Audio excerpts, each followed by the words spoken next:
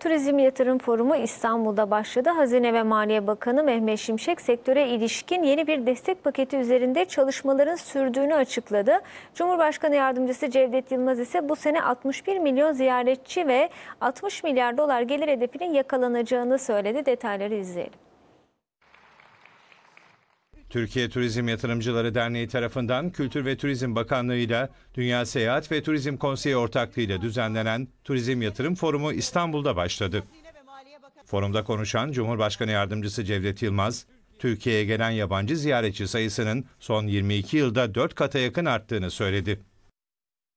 Bu sene 61 milyon turist, 60 milyar dolar gelir gibi bir tahminimiz var. Ve inşallah bunu yakalayacağız. Rakamlar bunu gösteriyor. Ee, gelecek yıl bunu daha ilerilere tabii ki taşımak istiyoruz ve daha yüksek bir gelir elde etmek istiyoruz. Hazine ve Maliye Bakanı Mehmet Şimşek de turizm sektörüne yönelik bir destek paketi üzerinde çalışmaların sürdüğünü açıkladı. Pakete dair ayrıntıların ilerleyen günlerde paylaşılacağını söyledi.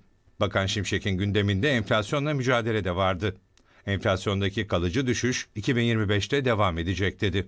Dezenflasyon bizim en büyük önceliğimiz. Yani enflasyonun tek haneye kalıcı bir şekilde düşürülmesi şu anda programımızın en önemli hedefi. Rezerv konusunda geçen sene kaygılar vardı.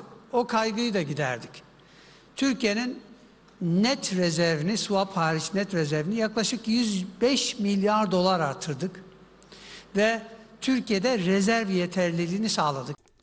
Sermaye Piyasası Kurulu Başkanı İbrahim Ömer Gönül ise borsada açığa satış yasağının yakın zamanda kaldırılacağını belirtti.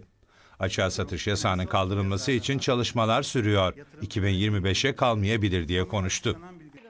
Türkiye Turizm Yatırımcıları Derneği Başkanı Oya Narin de turizmin Türkiye ekonomisine olan katkısına vurgu yaptı.